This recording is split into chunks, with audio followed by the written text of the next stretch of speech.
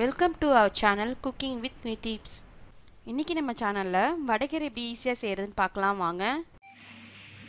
வடகரி செய்ய தேவையான பொருட்கள் ரெண்டு பிரிஞ்சி இலை அஞ்சு கிராம்பு ஒரு ஸ்பூன் சோம்பு நாலு பட்டை மூணு ஏலக்காய்.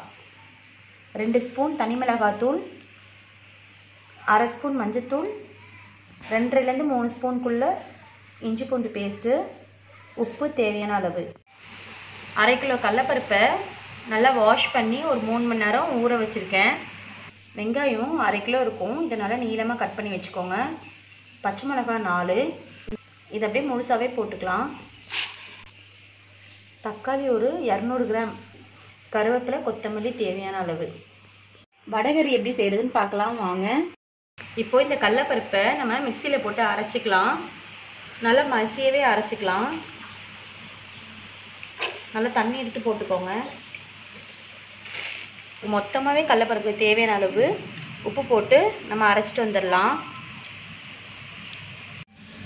கடலப்பருப்பை இந்த அளவுக்கு மைய அரைச்ச அரைச்சாச்சு. இப்போ நம்ம இதை ஒரு இட்லி தட்டில் எண்ணெய் தடவி வச்சுருக்கேன். இப்போது இந்த மாதிரி உருட்டி உருட்டி நம்ம வச்சிடலாம்.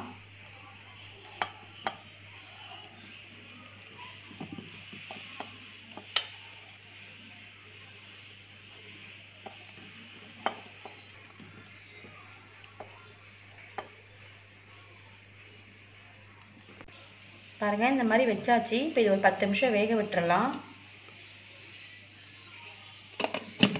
கடாயில் நாலு ஸ்பூன் எண்ணெய் விட்டாச்சு.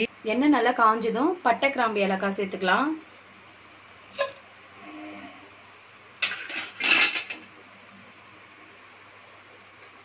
சேர்த்து நல்லா வறுத்துக்கோங்க.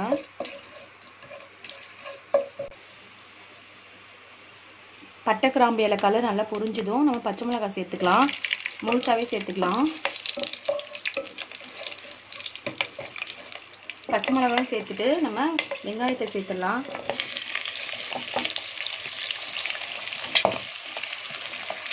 கருவேப்பிலை சேர்த்துக்கலாம்.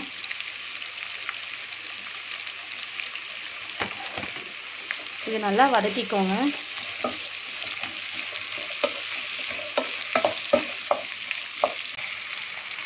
இந்த அளவுக்கு நல்லா வதக்கணும் நம்ம இதில் இஞ்சி பூண்டு பேஸ்ட் போட்டுக்கலாம். நல்லா ஃபுல் ஸ்பூன் ஒரு ஸ்பூன் போடுறேன். இன்னும் ஒரு அரை ஸ்பூன் போடுறேன்.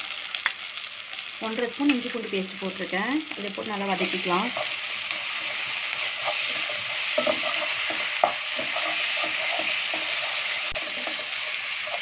இஞ்சி பூண்டு பேஸ்ட் போட்டதும் ஒரு ரெண்டு நிமிஷம் கழித்து வதக்கிட்டு நம்ம தக்காளி சேர்த்துக்கலாம்.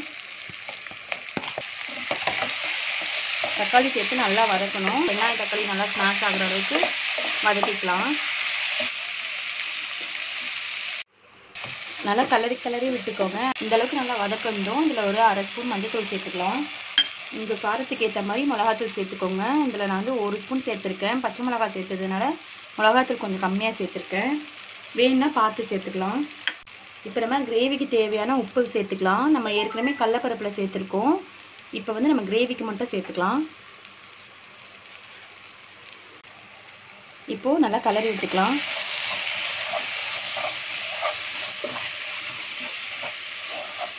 இந்த மசாலா ஸ்மெல்லாம் போகிற அளவுக்கு நல்லா வதக்கிக்கலாம். இப்போ பாருங்கள் எல்லாமே வேக வச்சு எடுத்தாச்சு. இப்போது இந்த மாதிரி நல்லா உதிர்த்து போட்டுக்கோங்க. இந்த மாதிரி உதிர்த்துருக்கணும். எல்லாத்தையும் உதிர்த்துடலாம். மசாலாவோட பச்சை வாசனைலாம் போயிடுச்சு. இப்போ நம்ம தண்ணி ஊற்றிக்கலாம் நிறையவே தண்ணி விட்டுக்கலாம். இது நல்லா கொதி வரட்டும். தண்ணி கொதி வந்தோடனே நம்ம இந்த பக்கோடாவை போட்டுடலாம் இந்த தண்ணியில் நம்ம கொத்தமல்லி கொஞ்சமாக தூவி விட்டு நல்லா மூடி வச்சிடலாம். தண்ணி நல்லா கொதிக்குது. இப்போ இதை எடுத்துகிட்டு ஒரு அரை ஸ்பூன் கரம் மசாலா தூள் சேர்த்துக்கலாம். நல்லா கலந்து விட்டுக்கோங்க.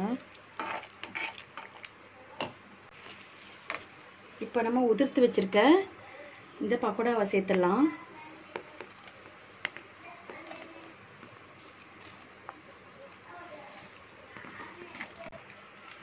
பாருங்கள் எல்லாமே போட்டாச்சு. இது அப்படியே மசாலாவில் இருக்கட்டும். ஒரு பத்து நிமிஷம் அப்படியே கொதிக்கட்டும். நான் அரை கிலோ பருப்பு போட்டிருக்கேன். நிறையா வந்திருக்கு. உங்களுக்கு தேவைக்கேற்ற மாதிரி நீங்கள் போட்டுக்கோங்க. நூறு கிராம் போட்டு கூட செய்யலாம்.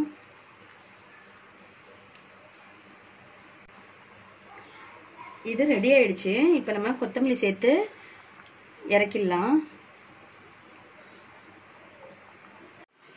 சூப்பரான சுவையான வடகரி ரெடி.